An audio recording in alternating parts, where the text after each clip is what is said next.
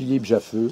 Alors, il a ceci de particulier que euh, son écriture est liée aussi à sa façon de, vivre, puisqu'il est handicapé et qu'il ne peut euh, écrire que en, il n'écrit pas avec ses, doigts, il écrit avec sa voix et euh, il utilise un ordinateur. Donc, ceci entraîne une, une, écriture particulière, mais qu'il revendique comme étant, si vous voulez, une une écriture qui s'effondre sur elle-même et euh, qui, qui, qui renaît grâce à justement euh, une certaine, euh, comment dire, un, processus aléatoire qui lui permet de, tirer des, nombres et des lettres et de disposer sur la page, parce que la disposition sur les pages est très importante. On avait montré cela dans la première présentation.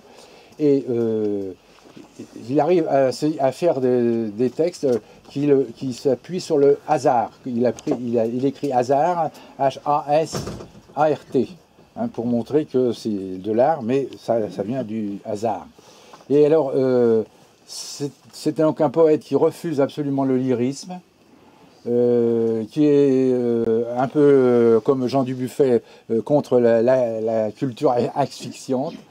Euh, il laisse une grande liberté au lecteur, il fournit quelque chose, et c'est le lecteur qui doit lui créer quelque chose à partir de ce qu'il écrit. Et alors, euh, il est très influencé par la pensée taoïste, hein, avec le, jeu des contraires. Euh, qu'est-ce que je pourrais vous dire encore? Alors, l'article que j'ai fait, c'était un, un, entretien avec Béatrice Machet, qui était paru dans Passage d'encre, et c'était à propos d'écrit parlé. écrit parlé, euh, ça, c'est un titre qui, se justifie, puisque effectivement, euh, son écrit à lui est parlé. Qu'est-ce que je pourrais dire encore sur lui? Ben, je, vous, je, vous, renvoie à, l'article. Hein. Euh, ce qui est intéressant de, voir, c'est qu'il souhaite, davantage qu'on lise ses textes plutôt qu'on parle de la façon dont il les a obtenus.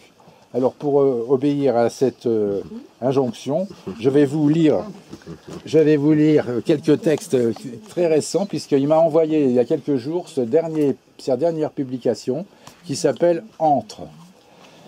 Alors c'est difficile à lire parce qu'en fait il y a des interruptions dans les lignes et dans les mots et ça je peux pas je peux pas vous rendre compte en parlant. Des trous.